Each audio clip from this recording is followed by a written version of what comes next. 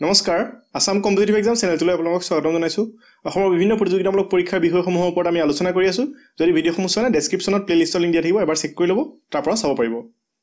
যদি আমাৰ চেনেলটোলৈ আপুনি নতুনকৈ আহিছে তেন্তে চেনেলটো ছাবস্ক্ৰাইব কৰিব আৰু লগতে বেল আইকনটো প্ৰেছ কৰি নটিফিকেশ্যন অল ছিলেক্ট কৰিব যাতে আমি ভিডিঅ'সমূহ দিয়াৰ লগে লগে আপোনালোকে নটিফিকেশ্যন পায় আৰু ভিডিঅ'সমূহ চাব পাৰে। আৰু যদি আপোনাৰ লগৰ কোনোবা বন্ধু বান্ধৱীয়ে চিটেট দিব বা অন্যান্য যিবিলাক কম্পিটিটিভ এক্সাম প্ৰিপেৰেশ্যন কৰি আছে তেওঁলোকক ভিডিঅ'সমূহ শ্বেয়াৰ কৰিব যাতে আপোনালোকৰ লগতে তেওঁলোকো উপকৃত হয়। আহক আজি ভিডিঅ'টো আমি ষ্টাৰ্ট কৰোঁ। আজি আমি ডিছকাছ কৰিম এনভাইৰমেণ্টেল ষ্টাডিছৰ ওপৰত বা পৰিৱেশ অধ্যয়নৰ ওপৰত। আমি প্ৰথমতে কণ্টেণ্টখিনি ডিছকাছ কৰি ল'ম। ফেমিলি এণ্ড ফ্ৰেণ্ডছ ফাৰ্ষ্ট যিটো কনচেপ্ট আছে সেইখিনি ডিছকাছ কৰি আছোঁ আমি। ফেমিলি এণ্ড ফ্ৰেণ্ডছৰ ৰিলেশ্যনশ্বিপখিনি ডিছকাছ কৰিলোঁ। যদি ইয়াৰ আগৰ ভিডিঅ'টো চোৱা নাই এবাৰ চাই ল'ব। আজি ডিছকাছ কৰিম প্লাণ্টছৰ ওপৰত। ঠিক আছে? যেতিয়া কণ্টেণ্টছখিনি শেষ হ'ব তেতিয়া আমি পেডাগজিৰ ক্লাছ ষ্টাৰ্ট কৰিম। এনভাইৰমেণ্টেল ষ্টাডিছৰ ওপৰত ত্ৰিছ নম্বৰ আহে। ত্ৰিছৰ পোন্ধৰটা কুৱেশ্যন আহিব আপোনাৰ পেডাগজিৰ আৰু পোন্ধৰটা কুৱেশ্যন আহিব কণ্টেণ্টৰ ওপৰত। আমি প্ৰথমতে কণ্টেণ্টখিনি ডিছকাছ কৰি লওঁ তাৰপিছত আমি পেডাগজিখিনি ডিছকাছ কৰিম। আহক প্লাণ্টছৰ ওপৰত অলপ ডিছকাছ কৰোঁ। প্লাণ্টছ মানে আপুনি জানেই উদ্ভিদ। A plant is a living thing that grows in the earth and has a stem leaves and roots উদ্ভিদ হৈছে এটা লিভিং থিং ঠিক আছে? যিটোৰ জীৱ থাকে। এইটো জড় বস্তু নহয় এইটো জীৱ বস্তু। যিহেতু ই গ্ৰ' হৈ থাকে সেইকাৰণে ই এটা লিভিং থিং আৰু পৃথিৱীৰ উপৰিভাগত ই হয় ইয়াত কি কি থাকিব? ষ্টিম থাকিব লিভছ থাকে আৰু ৰুটছ থাকে। আৰু যিবিলাক প্লাণ্টছ হয় বা উদ্ভিদ হয় সেইবিলাক হৈছে মাল্টি চেলুলাৰ লিভিং অৰ্গেনিজিম আৰু উদ্ভিদবিলাক প্লাণ্টাই এই কিংডমটোক বিলং কৰে। ঠিক আছে? They can live on land and in water উদ্ভিদবিলাক যে অকল মাটিৰ ওপৰতে হ'ব সেইটো নহয়। উদ্ভিদবিলাক পানীতো হ'ব পাৰে বিভিন্ন ধৰণৰ উদ্ভিদ পানীৰ তলতো হয়। আমি দেখিছোঁ উদ্ভিদ সাগৰৰ তলতো থাকে বা এটা পুখুৰীৰ তলতো কিছুমান উদ্ভিদ থাকিব পাৰে শেলাই ধৰণৰ অন্যান্য ধৰণৰ এইবিলাক উদ্ভিদ থাকিব পাৰে। গতিকে অকল যে মাটিতে উদ্ভিদ হ'ব তেনে নহয় উদ্ভিদ পানীৰ তলতো হ'ব পাৰে। Food we eat comes from plants example fruits vegetables carrots pulses extra তো আমি যিবিলাক ফ্ৰুইটছ বা ভেজিটেবলছ আমি খাওঁ যিবিলাক আমি ফল মূল বা শাক পাচলি আমি উপভোগ কৰোঁ সেইবিলাক সাধাৰণতে উদ্ভিদৰ পৰা আমি পাওঁ। They provide us wood paper medicines extra অকল যে খোৱা বস্তুৱে যোগান ধৰিছে উদ্ভিদে আমাক সেইটো নহয়। বিভিন্ন কামত প্ৰয়োজন হোৱাকৈ কাঠৰ যোগান ধৰি আছে পেপাৰৰ যোগান ধৰি আছে আৰু বিভিন্ন ধৰণৰ মেডিচিন বা ঔষধ উদ্ভিদে আমাক যোগান ধৰি আছে। এইখিনি বেছিক কনচেপ্ট প্লাণ্টছৰ ওপৰত। ঠিক আছে? তো আমি জানো আহক মেইন পাৰ্টছ অফ প্লাণ্টছ উদ্ভিদৰনো ভাগ কেইটা? জেনেৰেলি উদ্ভিদক দুটা ভাগত ভাগ কৰিব পৰা যায়। এটা হৈছে ৰুট ছিষ্টেম আৰু এটা হৈছে শ্বুট ছিষ্টেম ঠিক আছে? আমি যদি ৰুট ছিষ্টেমক অসমীয়াত কৰোঁ তেতিয়াহ'লে মূল বা শিপা অংশ হ'ব আৰু শ্বুট ছিষ্টেম যিটো কাণ্ড বা গাগজ হ'ব। ঠিক আছে এই অংশটো হৈছে এইটো হৈছে ৰুট ৰুট ছিষ্টেম আৰু এইখিনি হৈছে শ্বুট ছিষ্টেম যিটো কাণ্ড বা গাগজ ৰুট ছিষ্টেমৰ ওপৰত অকণমান ডিটেইলছত জানো আহক ৰুট ছিষ্টেমনো কি হয়? Root is the underground part of the plants body অৰ্থাৎ মাটিৰ তলত যিখিনি থাকিব আণ্ডাৰগ্ৰাউণ্ড হৈ থাকে যিখিনি উদ্ভিদৰ সেই অংশটোক কোৱা হয় ৰুটছ বা শিপা। It grows towards the force of gravity অৰ্থাৎ মধ্যাকৰ্ষণ শক্তিৰ ফলত ই তললৈ গৈ থাকে। It fixes the plant within the soil and absorbs water and mineral nutrients from the soil তো শিপাবিলাকৰ কাম কি? গছজোপাক খামুচি ধৰি থকা। আৰু গছজোপা বাঢ়ি যাবৰ কাৰণে যিখিনি পানী লাগিব বা অন্যান্য খনিজ লৱণ লাগিব সেইবিলাক যোগান ধৰা। মাটিৰ মাটিৰ পৰা তেওঁলোকে সেইখিনি যোগান ধৰি থাকিব গছজোপাক। ইট ষ্ট'ৰ্ছ এক্সেছ ফুড যিখিনি সংগ্ৰহ কৰিব যিখিনি এক্সেছ হৈ থাকে বাঢ়ি থাকে সেইখিনিও শিপাই সঞ্চয় কৰি ৰাখে। ঠিক আছে? ফাংচনছ অফ ৰুটছ বা আমি যদি শিপাৰ কাৰ্য চাওঁ শিপা মূল বুলিও কোৱা হয় তাৰ কাৰ্যসমূহনো কি কি আছে? A root holds a plant erect in one place অৰ্থাৎ এঠাইতে খামুচি ধৰি ৰাখিবলৈ বা থিয় হৈ থাকিবৰ কাৰণে বা খাৰা থাকিবৰ কাৰণে ৰুটে কি কৰে বা শিপাই কি কৰে? প্লাণ্টটোক সহায় কৰে। ঠিক আছে? Roots hold a plant firmly to the soil অৰ্থাৎ গছজোপাক থিয় কৰি ৰাখিবৰ কাৰণে ই বিশেষভাৱে সহায় কৰে। তাৰপিছত অকণমান আগত ক'লোৱেই যে শিপাবিলাকে কি কৰে গছজোপা বাঢ়ি যাবৰ কাৰণে বিভিন্ন ধৰণৰ পানী আৰু খনিজ লৱণ তেওঁলোকে গছজোপাক যোগান ধৰে। ঠিক আছে? Some roots store food for the plant কিছুমান এনেকুৱাও শিপা আছে যিবিলাকে যিখিনি এক্সেছ ফুড থাকে সেইখিনি ষ্ট'ৰ কৰি ৰাখে যাতে পিছত যিটো অভাৱৰ সময় বা সময়ত যদি নাপায় তেতিয়াহ'লে সি গছজোপাক যোগান ধৰিব। কেতিয়াবা এনেকুৱা হয় যে আমি গছৰ পুলি এটা বা ফুলৰ পুলি এটা আমি এঠাইৰ পৰা উঘালি আনিলোঁ কিন্তু ৰুবলৈ পাহৰিলোঁ এঠাইত থৈ দিলোঁ তথাপিও ফুলপাহ কলি লাগি আছিলে যিটো ফুলপাহ ফুলি যোৱা দেখা যায়। কাৰণ শিপাই কি কৰে যিখিনি ফুড আছে বা যিখিনি পানী তেওঁলোকে জমা কৰি ৰাখিছিলে সেইখিনিৰ পৰা গছজোপাক যোগান ধৰে তাৰ ফলত ফুলপাহ ফুলি যায়। ঠিক আছে নহবাতো উঠাই দিয়াৰ লগে লগে মৰিয়ে গ'লহেঁতেন। এনেকুৱা বহুতৰ হয় যে ৰাতিপুৱা গছপুলি এটা আনি পেলাই উঘালি আনোতেনে তেনেকেই থৈ দিলে। আৰু আবেলি সন্ধিয়া সময়ত মনত পৰিলে যে মই গছজোপা ৰোৱা নাই ৰুই থৈ আহোঁ। সেই দিনটো যে গছজোপা কেনেকৈ জীয়াই থাকিব? সেইকাৰণে দেখা যায় যে শিপাবিলাকে পানী আৰু খনিজ লৱণ বা যিবিলাক মিনাৰেলছ গছজোপাৰ প্ৰয়োজন সেইখিনি তেওঁলোকে ষ্ট'ৰ কৰি ৰাখে আৰু এনেকুৱা হয় কিছুমান স্পেচিয়েল কিছুমান প্লাণ্টছ আছে বা স্পেচিয়েল কিছুমান উদ্ভিদ আছে যিবিলাকৰ শিপাৰ কাৰ্যই হৈছে যে তেওঁলোকে ফুড ষ্ট'ৰ কৰি ৰখাটো। Roots of plants like carrot sweet potatoes radish and beetroot store food এইবিলাক যিবিলাক চুইট পটেটো আছে বা কেৰট হওক এইবিলাকে কি কৰে? তেওঁলোকৰ শিপাডালেই যিখিনি খাদ্য আছে তেওঁলোকে সংগ্ৰহ কৰি ৰাখে মাটিৰ পৰা সেইখিনি তেওঁলোকে ষ্ট'ৰ কৰি ৰাখে বা সঞ্চয় কৰি ৰাখে। ঠিক আছে? নেক্সট আমি চাওঁ আহক কাণ্ড বা গাগজ অংশ বা চুট ছিষ্টেমটো চাওঁ আহক। The part of the plant above the soil is known as the shoot অৰ্থাৎ যিটো মাটিৰ পৰা ওপৰৰ অংশ থাকিব সেইটোক কোৱা হয় shoot system it is compose of stem on which are attached leaves flowers branches fruits and buds মাটিৰ ওপৰৰ যিটো অংশ আছে সেই অংশটোত সাধাৰণতে দেখা যায় লিভছ হওক পাত হওক বা ডাল হওক এইবিলাক দেখা যায়। আৰু এই গোটেই ছিষ্টেমটোকে কোৱা হয় চুট ছিষ্টেম বা কাণ্ড বা গাগজ বুলি কোৱা হয়। ঠিক আছে? নেক্সট চাওঁ আহক পাতনো কি বা পাতৰনো কাম কি কি? Green leaves prepare food for the plant through the process of photosynthesis বা আমি সালু সংশ্লেষণ বুলি ক'ব পাৰোঁ। সেউজীয়া যিটো পাত থাকে গছৰ সেউজীয়া পাতটোৱে কি কৰে? সালু সংশ্লেষণ কৰে। আৰু সালু সংশ্লেষণ হৈছে এটা প্ৰচেছ যিটোৱে গছজোপাক খাদ্যৰ যোগান ধৰে। জেনেৰেলি পাতবিলাকত এনেকুৱা এনেকুৱা পত্ৰৰন্ধ থাকে বা স্তোমাতা থাকে আৰু এই পত্ৰৰন্ধই তেওঁলোকৰ যিটো সালু সংশ্লেষণ প্ৰক্ৰিয়া আছে সেইটো ক্ৰিয়া কৰে। এই পিকচাৰখন যদি চাই আপুনি দেখিব শিপাই কি কৰে? মাটিৰ পৰা পানী বা অন্যান্য খনিজ লৱণ তেওঁলোকে সংগ্ৰহ কৰে সংগ্ৰহ কৰি গছজোপাক যোগান ধৰে। আৰু পাতে কি কৰিব? সূৰ্যৰ পোহৰত কাৰ্বন ডাই অক্সাইড সংগ্ৰহ কৰি তেওঁলোকে খাদ্য তৈয়াৰ কৰিব। তেনেকৈ উদ্ভিদ এজোপা ডাঙৰ হৈ আহিব বা উদ্ভিদজোপা তেনেকেই জীয়াই থাকে। এইটো পাতৰ মেইন কাম এইখিনি। কিন্তু কেতিয়াবা প্ৰশ্ন হ'ব পাৰে যে যদি সেউজীয়া নহয় পাতখিনি কিছুমান উদ্ভিদৰ সেউজীয়া নাথাকিব পাৰে। যেনেকৈ আপুনি এইটো যদি চাই কাঠফুলা কাঠফুলাৰটো সেউজীয়া নহয় পাতটো তেওঁলোকে কি কৰিব? সাধাৰণতে কাঠফুলাৰ নিচিনা যিবিলাক উদ্ভিদ আছে সিহঁতে সূৰ্যৰ পোহৰত খাদ্য প্ৰস্তুত নকৰে।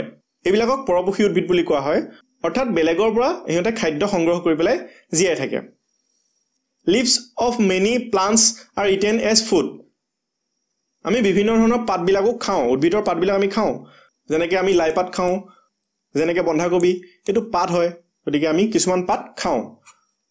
নেক্সট অকণমান জানো আহক ফটোচিনথেচিছ বা সালু সংশ্লেষণো কি হয়? এই কনচেপ্টখিনি যে পঢ়ি আছোঁ এইখিনিৰ ওপৰত ডাইৰেক্ট কুৱেশ্যন আপোনাক সুধিব। শিপাৰ কাম কি বা পাতে কি সংগ্ৰহ কৰে এনেকুৱা ডাইৰেক্ট কুৱেশ্যন সুধি দিব পাৰে। সালু সংশ্লেষণ কি হয় জানো আহক? The process of producing food known as photosynthesis যিটো প্ৰচেছ হয় ফুড তৈয়াৰ কৰা বা উদ্ভিদে যিটো খাদ্য প্ৰস্তুত কৰে তাকে সালু সংশ্লেষণ বুলি কোৱা হয়। আৰু এইটো জেনেৰেলি পাততে প্ৰক্ৰিয়াটো ঘটে। অন্যান্য অংশত কিন্তু নহয় এইটো। অকল পাততেই হয় এই প্ৰক্ৰিয়াটো। যেতিয়া সূৰ্যৰ পোহৰ পৰিব ইয়াত পাতত তেতিয়া পাতৰ যিটো ক্ল'ৰফিল থাকে সি সেই সূৰ্যৰ ৰশ্মিটো এবজৰ্ভ কৰিব আৰু পাতৰ যিটো পত্ৰন্ধ থাকে মই অকণমান আগত ক'লোঁ উষ্টোমতা বা পত্ৰন্ধ এটা দেখাইছিলোঁ ইয়াত পিকচাৰ এটা। এই পিকচাৰটো চাওক এইটো পত্ৰন্ধ। এনেকুৱা ধৰণৰ যিবিলাক পত্ৰন্ধ থাকিব পাতত সিহঁতে কাৰ্বন ডাই অক্সাইডবিলাক এবজৰ্ভ কৰিব আৰু পানীৰ যোগান ধৰিব পানী বা খনিজ লৱণ যোগান ধৰিব শিপাই তো এনেদৰেই তেওঁলোকৰ খাদ্য প্ৰস্তুত হয় আৰু উদ্ভিদজোপা ডাঙৰ হয় আৰু উদ্ভিদজোপা জীয়াই থাকে। সালু সংশ্লেষণৰ বিষয়ে আপুনি অসমীয়াটো চাব পাৰে অকণমান। জানেই তথাপিও। নেক্সট আমি চাওঁ আহক। ট্ৰেন্সপিৰেশ্যন বা বাষ্পমোচননো কি হয়? Plants lose a large volume of water through the leaves in the form of vapour the exit of water is through the stomata the stomata are usually open during the day and close at night তো গছৰ পৰা বাষ্পমোচন নহয় বাষ্পমোচন এটা প্ৰক্ৰিয়া generally যদি আমি কওঁ যিখিনি পানী গছজোপাৰ শিপাই গছজোপাক যোগান ধৰিব পাতৰ জৰিয়তে সেইখিনি কিন্তু ওলাই গুচি যায়। ভাৱ হৈ বা বাষ্প হৈ ওলাই গুচি যায়। যিটো পাতৰ পত্ৰন্ধ থাকে তাৰ পৰা এই পানীখিনি ওলাই যায়। আৰু জেনেৰেলি এইটো ডে টাইমতহে ওলায় দিনতহে বাহিৰ হয়। বাষ্পমোচনটো জেনেৰেলি দিনত হয়। পত্ৰন্ধখিনি সাধাৰণতে দিনত খোল খায় আৰু ৰাতি বন্ধ হৈ যায়। ঠিক আছে? নেক্সট চাওঁ আহক ফ্লাৱাৰ আৰু ফ্ৰুইটছৰ ওপৰত। Flowers are the most attractive part of a plant সকলোবিলাক গছৰে চবতকৈ বেছি এট্ৰেক্টিভ পাৰ্টটোৱে হৈছে ফ্লাৱাৰ ফুল ফুলিলে গছজোপা এনেই আকৰ্ষণীয় হৈ যায়। Smell of flower attract insects and bees to pollinate the flower flowers that we eat are broccoli and cauliflower ফ্লাৱাৰো আমি খাওঁ। যেনেকৈ পাত খাইছিলোঁ ইয়াৰ আগত মই কৈ আহিছিলোঁ কবিবিলাক বা আমি লাই শাক খাওঁ সেইটো পাত হয়। ঠিক তেনেকৈ আমি ফুলো খাওঁ। উদাহৰণস্বৰূপে আপুনি ল'ব পাৰে ফুলকবিটো। কিন্তু ফুলৰ আমি কাৰ্য কিছুমান গম পালোঁ ফুলে এনেকুৱা এনেকুৱা কৰে বুলি। তো যিটো চিট থাকে এটা ফলত ওৱান চিট থকা হৈছে কিছুমান ফল মেংগ' এণ্ড চেৰি এইটো কুৱেশ্যন আহিব পাৰে মেটছ কৰিব দিব পাৰে যে ওৱান চিট যিবিলাক ফ্ৰুইটছ আছে সেইখিনি আপোনাক এনেকৈ মেটছ কৰিব দিব পাৰে। কিছুমান ফিউ চিটছ থাকে এপল এণ্ড অৰেঞ্জেছ এইবিলাকত কিছু অলপ থাকে চিটছ বা গুটি থাকে। বহুত বেছিকৈ থাকে পাপায়া ৱাটাৰমেলন এইবিলাকত। আৰু বানানা হেজ ন' চিটছ বানানাত বা কলত কিন্তু গুটি নাই। মনত ৰাখি থ'ব এইকেইটা কথা। মেটছ কৰিব কেতিয়াবা দি দিব পাৰে। নেক্সট আহক ছিগনিফিকেঞ্চ অফ প্লাণ্টছ পৃথিৱীয়ে একমাত্ৰ জীৱ বাস কৰিব পৰা এটা প্লেনেট আৰু ই উদ্ভিদৰ কাৰণে হৈছে। উদ্ভিদ যদি নাথাকে তেতিয়াহ'লে জীৱ জন্তু ইয়াত কোনো জীয়াই নাথাকিবই। গোটেই পৃথিৱীখনক বেলেঞ্চ কৰি ৰখাৰ ক্ষেত্ৰত উদ্ভিদৰ বহুত বেছি ভূমিকা আছে। ইয়াত যদি চাই গ্ৰীণ হৈ আছে আমাৰ পৃথিৱীখন প্লাণ্টৰ কাৰণে। চ' আমাৰ পৃথিৱীক গ্ৰীণ প্লেনেট বুলিও কোৱা হয়। আৰু যিটো বায়ুমণ্ডলৰ বেলেঞ্চ হৈ আছে সেই বেলেঞ্চটো উদ্ভিদৰ কাৰণে হৈ আছে। ফটোচিনথেচিছ বা সালু সংশ্লেষণৰ কাৰণেই আমাৰ বায়ুমণ্ডলটো বেলেঞ্চ হৈ আছে। নহ'লে ইমান প্ৰাণী আছে চবেই যদি অক্সিজেন উশাহ নিশাহত অক্সিজেন লৈ আছে কাৰ্বন ডাই অক্সাইড এৰি আছে এৰি আছে যদি কাৰ্বন ডাই অক্সাইড এবজৰ্ব কৰিবৰ কাৰণে কোনো নাথাকিলেহেঁতেন তেতিয়াহ'লে কাৰ্বন ডাই অক্সাইডৰ পৰিমাণটো বহুত বাঢ়ি গ'লহেঁতেন যিটো বৰ্তমান বাঢ়ি আছে কাৰ্বন ডাই অক্সাইড আৰু কাৰ্বন ডাই অক্সাইড বাঢ়ি থকা মানেই গৰমৰ পৰিমাণ দিনে দিনে বাঢ়ি গৈ থকা। গ্ল'বেল ৱাৰ্মিং হোৱাৰ মেইন কাৰণটোৱে হৈছে কাৰ্বন ডাই অক্সাইড বাঢ়ি থকাটো। চ' পৃথিৱীৰ যিটো বায়ুমণ্ডল আছে বায়ুমণ্ডলটোক বেলেঞ্চ কৰি ৰাখিবৰ কাৰণে উদ্ভিদে বহুত বেছিকৈ হেল্প কৰিছে। উদ্ভিদ নহ'লে বায়ুমণ্ডল ইমান দিনে বেলেঞ্চ হৈ নাথাকিলেহেঁতেনেই তেওঁলোকে কাৰ্বন ডাই অক্সাইডখিনি সংগ্ৰহ কৰিছে আৰু ফুড তৈয়াৰ কৰিছে তাৰ পৰা আৰু অক্সিজেন এৰি দিছে। আৰু সেই প্ৰচেছটোৰ কাৰণেহে বায়ুমণ্ডলটো বেলেঞ্চত আছে। তো ইয়াৰ লগতে যিখিনি প্লাণ্টছ আছে সেই প্লাণ্টছবিলাকে আমাক বিভিন্ন ধৰণৰ তেলৰ যোগান ধৰে। যেনেকৈ আমি mustard oil coconut oil sunflower oil এইবিলাক প্লাণ্টছৰ পৰা পাওঁ বা উদ্ভিদৰ পৰা পাওঁ। উদ্ভিদৰ এইখিনি হৈছে গুৰুত্ব। ইয়াৰ উপৰিও প্লাণ্টছ বা উদ্ভিদবিলাকৰ কিছুমান মেডিচিনেল ভেলুও থাকে। যেনেকৈ তুলসী হওক বা নিম হওক বা গাৰ্লিক হওক বা এল'ভেৰা হওক এইবিলাকৰ কিছুমান মেডিচিনেল ভেলু আছে। বিভিন্ন ধৰণৰ বেমাৰ আজাৰত এইবিলাক ব্যৱহাৰ কৰিব পাৰোঁ আমি। বেমাৰ আজাৰ ভাল হৈ যায় এইবিলাক ব্যৱহাৰ কৰিলে। এইখিনি বেছিক ছিগনিফিকেঞ্চ অফ প্লাণ্টছ বা উদ্ভিদৰ মূল কিছুমান গুৰুত্ব। এই চাৰ্টখন অকণমান মনত ৰাখি থ'ব আমি বিভিন্ন ধৰণৰ প্লাণ্ট বা উদ্ভিদৰ পৰা কেনেধৰণৰ খাদ্য সামগ্ৰী আমি পাওঁ যেনেকৈ ফ্লাৱাৰ আমি কি খাওঁ মই কৈ আহিলোঁ অলপ আগত তো কলিফ্লাৱাৰ আৰু ব্ৰকলি এইখিনি আমি ফ্লাৱাৰ খাওঁ চিটছ যেনেকৈ খাওঁ ৰাইচ হুইট এইখিনি আমি চিটছ খাওঁ উদ্ভিদ এজোপাৰ চিটছখিনি আমি খাওঁ ফ্ৰুইটছ খাওঁ এপল মেংগ বিভিন্ন ধৰণৰ আছে এইখিনি অকণ মনত ৰাখি থ'ব নেক্সট আমি ডিছকাছ কৰা হওক কিছুমান স্পেচিয়েল প্লাণ্টছৰ ওপৰত আৰু তেওঁলোকৰ কিছুমান বৈশিষ্ট্যৰ ওপৰত। Special plants and their features ইয়াৰ ওপৰত বহুত বেছি কুৱেশ্যন আহে গতিকে এইখিনি অকণ মন দি শুনিব। ফাৰ্ষ্ট আমি ডিছকাছ কৰা হওক ডেজাৰ্ট অ'কৰ ওপৰত। It is found in the dry desert region of the Australia generally desert অকটো অষ্ট্ৰেলিয়াত পোৱা যায়। আৰু এই গছজোপা সাধাৰণতে এই ওপৰ অংশটোতকৈ তাৰ যিটো ৰুট থাকে বা তাৰ যিটো শিপা অংশ থাকে সেইটো থাৰ্টি টাইমছ হায়াৰ থাকে। অৰ্থাৎ ত্ৰিছ গুণ তাতকৈ দীঘল থাকে। যিমান ওখ হ'ব তাতকৈ ত্ৰিছ গুণ তললৈ দীঘল হ'ব তাৰ শিপা। It has very few leaves and has long segmented branches অলপ পাত থাকে আৰু দীঘল সিহঁতৰ ডাল থাকে। আৰু জেনেৰেলি এই গছজোপা টেন টু ফিফটিন ফিট ডাঙৰ হয় আৰু যেতিয়ালৈকে শিপাবিলাকে পানী ঢুকি নাপায় তেতিয়ালৈকে ই এই ৰুটছ যিখিনি থাকে বা শিপা থাকে এই গছজোপাৰ শিপাখিনি তললৈ গৈ থাকিব গৈ থাকিব গৈ থাকিব। জেনেৰেলি ডেজাৰ্ট বা আপুনি যদি মৰুভূমি অঞ্চলত চাই গছৰ সংখ্যা এনেই কম থাকে কাৰণ পানী নাথাকে কাৰণে গছবিলাক তাত হ'ব নোৱাৰে। তো এই ডেজাৰ্ট ওকজোপা স্পেচিয়েল কিহৰ কাৰণে? কাৰণ ইয়াৰ শিপা পানী নোপোৱালৈকে তললৈ গৈ থাকিব পাৰে। অন্য যিবিলাক গছ আছে সেইবিলাক কিন্তু পানী বিচাৰি তললৈ শিপাবিলাক গৈ নাথাকে। এই গছজোপা স্পেচিয়েল এই কাৰণেই কাৰণ ইয়াৰ শিপা ইমান দীঘল হ'ব পাৰে যে যেতিয়ালৈকে পানী নাপায় সি তেতিয়ালৈকে গৈয়ে থাকিব তললৈ। ঠিক আছে? আৰু স্পেচিয়েল হৈছে যে এই গছজোপাই পানীক ষ্ট'ৰ কৰি ৰাখিব পাৰে। গছজোপাত এটা ট্ৰাংক থাকে আৰু তাত পানীক ষ্ট'ৰ কৰি ৰাখিব পাৰে।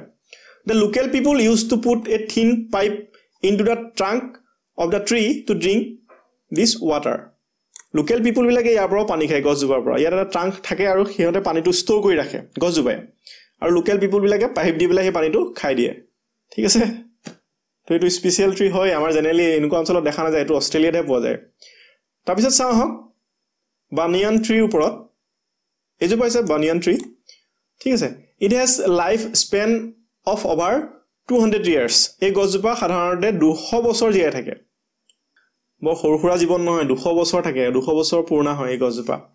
Hanging branches of old banyan trees are actually the roots of the tree তো যিবিলাক পুৰণা বানিয়ান ট্ৰি গছ আছে এই গছজোপাৰ যিখিনি ওলমি থাকে এইবিলাক দেখিছেনে? ওলমি আছে?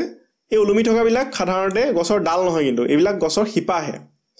আৰু এই শিপাবিলাক গছৰ ডালৰ পৰা তললৈ ওলমি থাকিব যেতিয়ালৈকে সিহঁতে গ্ৰাউণ্ড বা মাটি ঢুকি নাপায় তেতিয়ালৈকে সি দীঘল হৈ গৈ থাকে তললৈ গৈ থাকে মানে। শিপাবিলাক উল্টা হয় গছৰ ওপৰলৈ প্ৰথমতে শিপাখিনি যাব তাৰপৰা তললৈ ওলমি থাকিব সিহঁত next this roots are like pillars that provide strong support to the tree ঠিক আছে এইবিলাকে তেওঁলোকৰ পিলাৰ নিচিনাকৈ কাম কৰে আৰু গছজোপাক ছাপৰ্ট কৰে। Its leave bark seeds has medicinal values to treat disease like diarrhoea dental diabetes and urine disorder এই গছজোপা দুশ বছৰ পুৰণা আৰু দেখাতেই যে অকল গছজোপা ইম্পৰ্টেণ্ট আছে তেনেকুৱা নহয়। ইয়াৰ কিছুমান মেডিচিনেল ভেলু আছে যিবিলাক প্ৰব্লেম যেনেকৈ ডায়েবেটিছ হওক বা ডেণ্টেল প্ৰব্লেম হওক বা ডায়েৰিয়া হওক এনেকুৱা প্ৰব্লেমবিলাক ছল্ভ কৰিবৰ কাৰণে ইয়াৰ যিখিনি লিভ আছে বা পাত আছে বা চিটছ এইবিলাকৰ ব্যৱহাৰ কৰা হয় সাধাৰণতে। ঠিক আছে? তো এই গছজোপা অকণ ইম্পৰ্টেণ্ট আছে। নেক্সট চাওঁ আহক খেজৰি টি ইয়াৰ ওপৰত কুৱেশ্যন আহে। খেজৰি টি সাধাৰণতে আমি খেজাৰী ট্ৰি বুলিও ক'ব পাৰোঁ। আৰু এইটো ৰাজস্থানত পোৱা যায়। এনেকুৱা ধৰণৰ গছজোপা সাধাৰণতে ৰাজস্থানত পোৱা যায়। Its fruits are eaten as a rich protein source ইয়াৰ যিটো ফল লাগে ইয়াত মই এজোপা গছ বিচাৰি উলিয়ালোঁ গুগলত য'ত ফল লাগি আছে।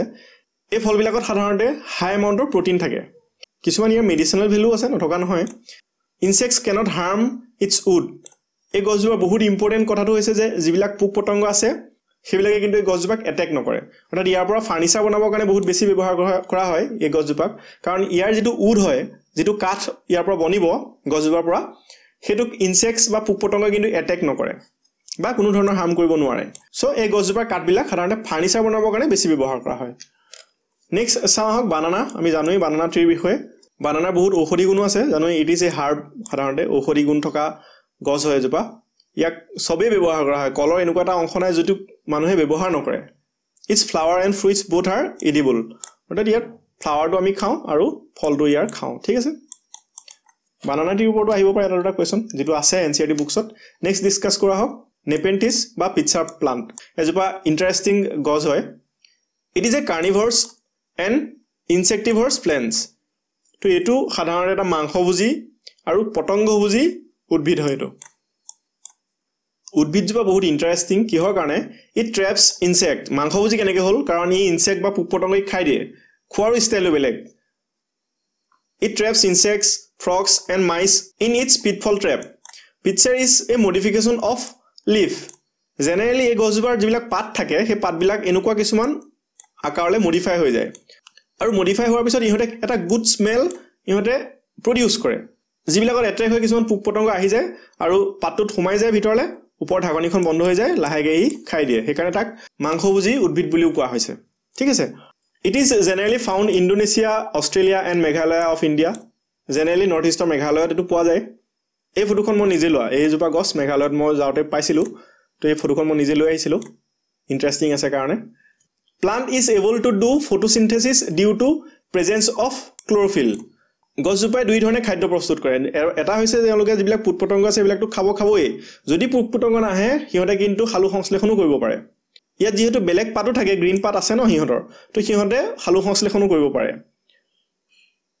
অকল যে মাংসভোজী উদ্ভিদ তেনেকুৱা নহয় অকল যে কীট পতংগ খাই থাকিব সেইটোৱেই নহয় সিহঁতে সালু সংশ্লেষণো কৰিব পাৰে। It eat insects to overcome deficiency of nitrogen তো নাইট্ৰজেনৰ ডেফিচিয়েঞ্চি ফিল আপ কৰিবৰ কাৰণে সিহঁতে সাধাৰণতে কীট পতংগবিলাক খায়। ঠিক আছে? প্লান্টছৰ ওপৰত বেছিক কনচেপ্টখিনি আমি আজি ডিছকাছ কৰিলোঁ যিখিনি এন চি আৰ টি বুকছত আছে। তো ইয়াৰ পৰা কুৱেশ্যন আহিব পাৰে মই কুৱেশ্যনৰ এটা ছিৰিজ লৈ আহিম যিখিনি প্ৰিভিয়াছ ইয়েৰ পেপাৰ আমি ডিছকাছ কৰিম। মই ইয়াত কুৱেশ্যনখিনি এড কৰি দিয়া নাই কাৰণ কুৱেশ্যনখিনি এড কৰিলে ভিডিঅ'টো বহুত দীঘল হৈ যায়। কুৱেশ্যনৰ মই বেলেগকৈ এটা ভিডিঅ' বনাম আপোনালোকক দিম। যিখিনি প্ৰিভিয়াছ ইয়েৰৰ কুৱেশ্যন আছে আমি সেইখিনি ডিছকাছ কৰিমেই। কৰি আছোঁ অলৰেডি দুটা ছাবজেক্টৰ আছামিজ আৰু চি ডি পিৰ প্ৰিভিয়াছ ইয়েৰৰ কুৱেশ্যন ডিছকাছ কৰিছোঁ। টু থাউজেণ্ড ইলেভেনৰ পৰা আমি ডিছকাছ কৰি যাম টু থাউজেণ্ড নাইনটিনৰ ডিচেম্বৰলৈকে চব ছাবজেক্টৰে ডিছকাছ কৰিম। চিন্তা নকৰিব আপোনালোকে লাহে লাহে কৰিছোঁ যদিও অলপ টাইম আছে এতিয়াও তো যেতিয়া আমি কুৱেশ্যনখিনি ডিছকাছ কৰিম ই ভি এছৰ প্ৰিভিয়াছ ইয়েৰত অহা তেতিয়া মই এইখিনি মেনশ্যন কৰি যাম যে এইটো প্লান্টছৰ ওপৰত ইম্পৰ্টেণ্ট আছিলে বা আমি ডিছকাছ কৰি আহিছিলোঁ। এইটো এনিমেলৰ ওপৰত এনেকৈ ডিছকাছ মই মেনশ্যন কৰি যাম আপোনালোকক। তেতিয়া আপোনালোকে এবাৰ ৰিপিট ভিডিঅ'টো চাই দিব নাইবা নোট যদি কৰি থয় সেইখিনি আপোনালোকে ৰিপিট চাব ৰিভাইজ কৰিব কনচেপ্টখিনি আপোনালোকৰ ক্লিয়াৰ হৈ যাব। নেক্সট ক্লাছত আমি এনিমেলছৰ ওপৰত লৈ আহিম। এনিমেলছৰ ওপৰত হয়তো এটা ক্লাছত কমপ্লিট নহ'ব গোটেই কনচেপ্টখিনি কমপ্লিট নহ'ব কাৰণ এইটো অলপ দীঘল আছে। কনচেপ্টখিনি ইয়াৰ ওপৰত বেছিকৈ আছে। চ' এনিমেলছৰ ওপৰত আমি দুই তিনিটা ভিডিঅ' লৈ আহিম। যদি ভিডিঅ'সমূহ ভাল পাইছে লাইক কৰিব তলত কমেণ্ট কৰি জনাব। যদি কিবা ইম্প্ৰুভমেণ্টৰ প্ৰয়োজন আছে যদি কিবা বুজি পোৱা নাই কনচেপ্ট থাকি গৈছে বুজি নোপোৱাকৈ তেতিয়াহ'লে তলত কমেণ্ট কৰি মোক জনাব। আৰু যদি আপুনি আমাৰ চেনেলটো নতুনকৈ আহিছে তেন্তে চেনেলটো ছাবস্ক্ৰাইব কৰিব আৰু লগৰ বন্ধু বান্ধৱীৰ সৈতে শ্বেয়াৰ কৰিব। কোনোবা যদি চিটেড দিব বা কোনোবাই যদি বেলেগ কিবা কম্পিটিটিভ এক্সাম প্ৰিপেৰেশ্যন কৰিছে তেওঁলোকক শ্বেয়াৰ কৰিব। তো আজিলৈ ইমানেই। পুনৰ লগ পোৱাৰ আশাৰে আজিলৈ বিদায়। ধন্যবাদ।